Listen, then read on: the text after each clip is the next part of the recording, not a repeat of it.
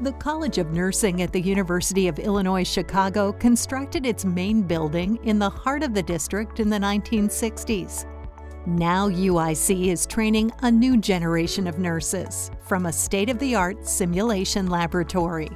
When we have new students come in that are thinking about going to nursing school, we give them a tour of this brand new beautiful space, the Schwartz Lab, um, and they can see that it's really close to real life as the hospital, and they get excited. And we also stress to them that, you know, here at UIC College of Nursing, we really craft simulations and cases and skills.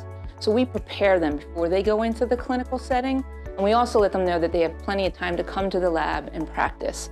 The M. Christine Schwartz Experiential Learning and Simulation Laboratory features suites devoted to medical and surgical practice and other vital clinical disciplines. Each semester, the 15,000 square foot lab trains more than a thousand student nurses across 13 different courses. The pandemic really forced us to work in small groups, to think about things like personal protective equipment, cleaning, hand washing. You know, I often tell the students, these are things Florence Nightingale has been talking about for years, and now we really, you know, we're really learning them in real time. Students can follow a diabetic patient from an exam in the emergency room to admission into the intensive care unit to an outpatient clinic. They can aid a new mother in the delivery room, then make a postpartum home visit.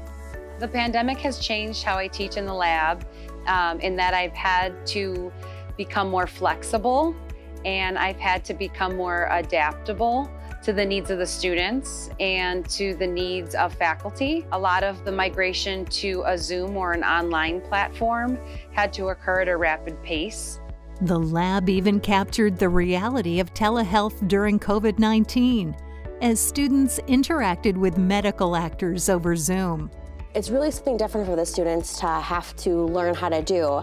Um, they can't do their normal head-to-toe assessment on the patient, for, you know, looking at them head to toe.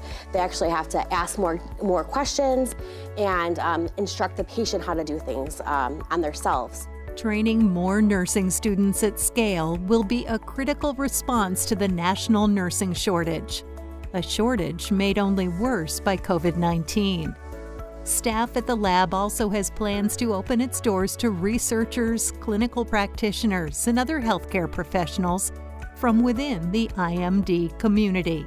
We are really fortunate to be part of the Illinois Medical District. If you think about it, just in this small space, a few square miles, we have multiple universities and colleges, and you just think of all the knowledge and skills and resources we have. To learn more about the IMD, visit the website medicaldistrict.org.